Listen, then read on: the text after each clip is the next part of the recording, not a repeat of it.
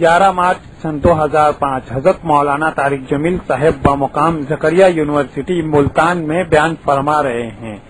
موضوع ہے اللہ کی عطا اور قیامت۔ تیار کردہ علمی کیسٹ گھر۔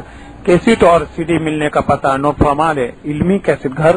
دکان نمبر پانچ، فاطمہ پلازا۔ بالمقابل Madni Masjid Federal B Area, Karachi. Phone number چھ تین، سات صفر آٹھ ایک تین۔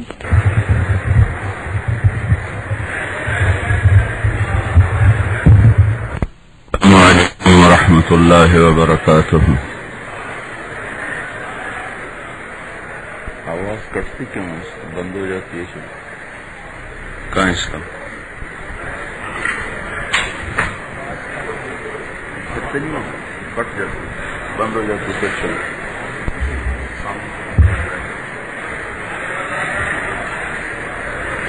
الحمد لله الذي بيده الملك وهو على كل شيء قدير.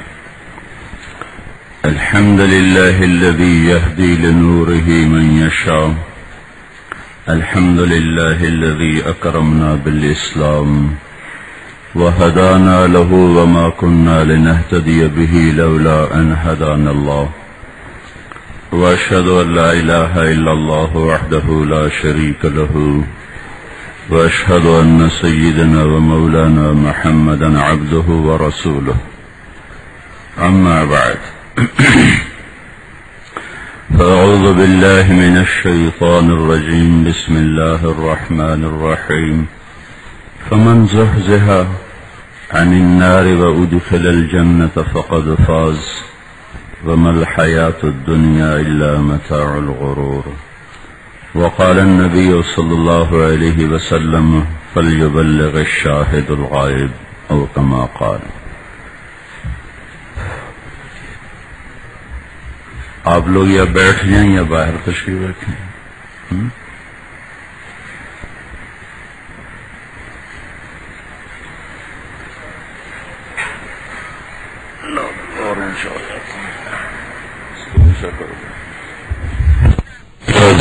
دوستو، اللہ تعالیٰ نے انسان میں خواہشات بے شمار بھر دی ہیں۔ وکان الانسان کفورا، اگرچہ اس کا مطلب ظاہر یہ ہے کہ انسان نہ شکرا ہے۔ لیکن اسی کا، اسی میں یہ مفہوم ہے، چونکہ اللہ دینے میں کمی تو کر نہیں رہا۔ وہ ہم؟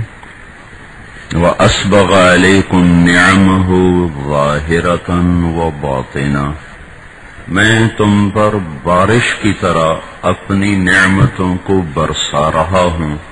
ظاہری بھی، باطنی بھی۔ میرا میدا کیا کر رہا ہے، مجھے کیا پتا پھیپھڑے کیا کر رہے ہیں کو مجھے خبر ہے؟ جو چیسٹ اسپیشلسٹ ہیں، اس کو کوئی خبر ہے کہ میرے پھیپھڑوں میں کیا ہو رہا ہے؟ جو گیسٹرو انٹالوجسٹ ہے، اسے کیا خبر کہ اس کے میدے اور آنتوں میں کیا ہو رہا ہے؟ جو یورالوجسٹ ہے، اسے کیا خبر ہو کہ اس کے گردوں میں کہاں اٹک آ گئی ہے، پھانس آ گئی ہے۔ دس لاکھ چھلنیاں ہیں۔ اتنے سارے گردے میں تو بیس لاکھ ہو گئی اتنا سارا گردہ ہے۔ دس ایک میں دس ایک میں بیس لاکھ چھلنیاں۔ ان میں سے پیشاب چھن کے آگے چلا جائے اور خون واپس چلا جائے اور پھر اس کے ساتھ دس لاکھ چھلیوں کے اوپر جو رگیں لپیٹی ہوئی ہیں، وہ بہتر میل لمبی رگیں ہیں۔ ذرا آپ اندازہ کرو۔ اتنے سے گردے پر جو رسیاں لپیٹی گئی ہیں، ان کی لمبائی ہے بہتر میل۔ ان رسیوں کے اندر چھلنیاں صحیح کام کرتی رہیں۔ پیشاب چھنتا رہے، خون چڑھتا رہے پیچھے کی طرف۔ یہ یورالوجسٹ کو کیا خبر کہ کیا ہو رہا اور دل کیسا اللہ نے بادشاہ بنایا ہے جسم کا؟ سب سے اللہ کے نبی نے کہا نا کہ جسم میں ایک گوشت کا لو تھوڑا، ان فل جسد مبغتن اذا صلحت صلح الجسد كله واذا فسدت فسد الجسد كله الا وهي القلب۔ تمہارے اندر ایک ٹکڑا ہے گوشت کا، وہ ٹھیک ہو جائے گا تو تم ٹھیک ہو جاؤ گے، وہ غلط ہو جائے گا تم غلط ہو جاؤ گے۔ اس حدیث میں دین کو زندہ کرنے کا اصول بیان کیا گیا ہے۔ وہ ایک الگ بحث ہے۔ ابھی تو میں ایک اور بات کر رہا تھا۔ چلو تھوڑا سا اشارہ کر دوں۔ دل کو ٹھیک کرنے کا اختیار اللہ کے پاس ہے اور سبب انسان کے اندر ہے۔ شافی شفا کا سبب اللہ کے پاس ہے، شفا اللہ کے پاس ہے، سبب انسان کے پاس ہے۔ دوائی کھائے گا، رات بیان بھی لمبا ہوا، کھڑا ہو کے کیا، بارہ بجے تک لوگوں نے سونے بھی نہ دیا۔ پھر صبح بھی اٹھنا پڑتا ہے تو سر پھٹ رہا تھا۔ درد کی شدت سے یہ لگتا جیسے کوئی ہتھوڑے مار رہا ہے۔ تب شفا اللہ نہیں دینی ہے۔ لیکن اس نے مجھے کہا ہے تم دوائی کھاؤ۔ میں نے دوا کھائی۔ تو آپ کے پاس آنے کے قابل ہو گیا۔ اگرچہ ابھی تک میرے سارا سر بہت بوجھل اور بھاری ہے۔ تو شفا اللہ کے پاس ہے، سبب ہمارے پاس ہے۔ دل کو ہدایت کے نور سے روشن کرنا اللہ کے پاس ہے۔ سبب ہمارے پاس ہے۔ وہ کیا ہے؟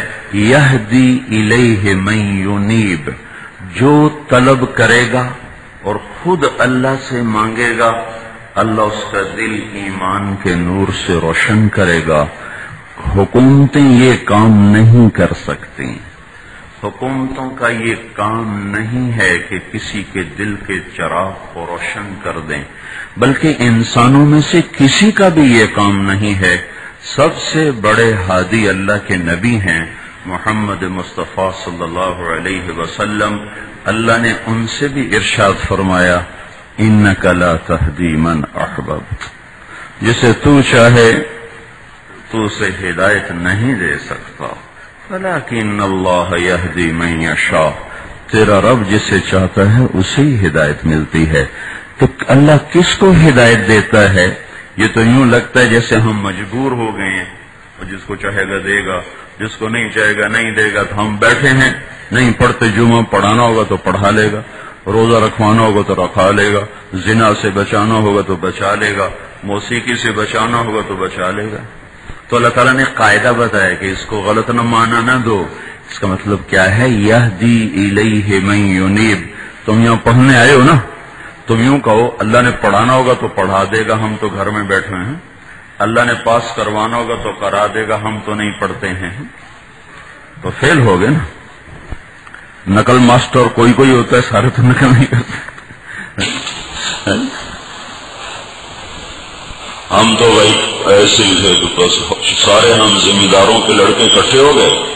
لاہور جب پڑھتے تھے، سارا سال نہیں پڑھتے تھے۔ وہ یہی پریکٹس کرتے رہتے تھے بوٹی کیسے لگانی۔ اسی سے ہی پاس ہو جاتے تھے۔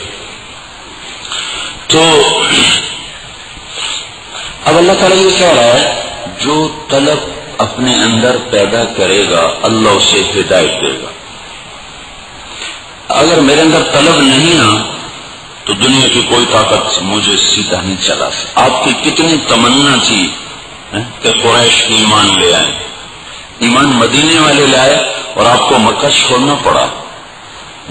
ابو لہب سے کتنا قریبی رشتہ تھا ابو لہب سے کہ اپنی دونوں بیٹیاں حضرت رقیہ اور ام کلثوم رضی اللہ عنہما دونوں کا نکاح ابو لہب کے بیٹوں سے کیا ہوا تھا۔